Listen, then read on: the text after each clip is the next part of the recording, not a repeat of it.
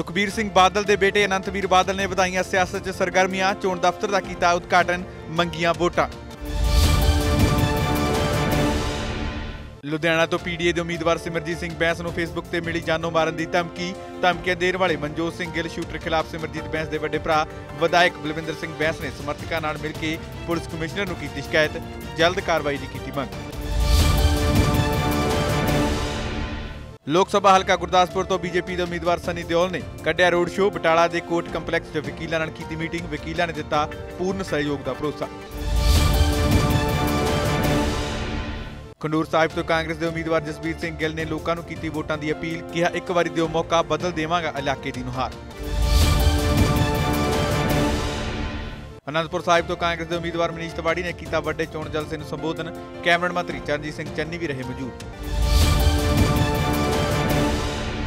ਲੋਕ ਸਭਾ ਹਲਕਾ ਫਰੀਦਕੋਟ ਤੋਂ ਸ਼੍ਰੋਮਣੀ ਅਕਾਲੀ ਦਲ ਦੇ ਉਮੀਦਵਾਰ ਗੁਲਜ਼ਾਰ ਸਿੰਘ ਰਣੀਕੇ ਵੱਲੋਂ ਚੋਣ ਪ੍ਰਚਾਰ ਕਿਹਾ ਲੋਕਾਂ ਦਾ ਮਿਲ ਰਿਹਾ ਭਾਰੀ ਸਮਰਥਨ ਕੀਤਾ ਜਿੱਤ ਦਾ ਦਾਅਵਾ।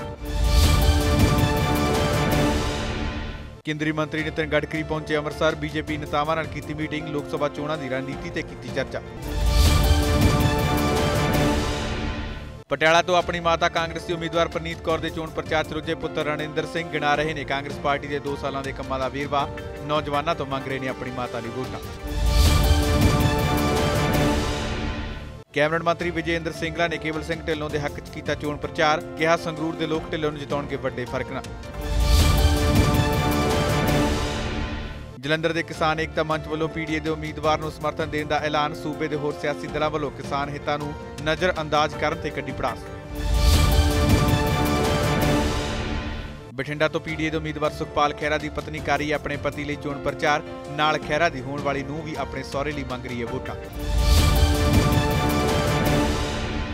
ਲੋਕ ਸਭਾ ਹਲਕਾ ਫਤਿਹਗੜ੍ਹ ਸਾਹਿਬ ਤੋਂ ਕਾਂਗਰਸ ਪਾਰਟੀ ਦੇ ਉਮੀਦਵਾਰ ਡਾਕਟਰ ਅਮਰ ਸਿੰਘ ਵੱਲੋਂ ਚੋਣ ਪ੍ਰਚਾਰ। ਮੌਕੇ ਤੇ ਮੌਜੂਦ ਵਿਧਾਇਕ ਕੁਲਜੀਤ ਸਿੰਘ ਨਾਗਰਾ ਨੇ ਮੰਗੀਆਂ ਡਾਕਟਰ ਅਮਰ ਸਿੰਘ ਦੇ ਲਈ ਵੋਟਾਂ। ਪ੍ਰਧਾਨ ਮੰਤਰੀ ਨਰਿੰਦਰ ਮੋਦੀ ਲੋਕ ਸਭਾ ਹਲਕਾ ਹੁਸ਼ਿਆਰਪੁਰ 'ਚ 10 ਮਈ ਨੂੰ ਕਰਨਗੇ ਰੈਲੀ। ਬੀਜੇਪੀ ਦੇ ਅਵਿਨਾਸ਼ ਰਾਏ ਖੰਨਾ ਵੱਲੋਂ ਰੈਲੀ ਵਾਲੇ ਮੈਦਾਨ ਦਾ ਦੌਰਾ। ਵੱਡੇ ਇਕੱਠ ਦਾ ਕੀਤਾ ਦਾਅਵਾ।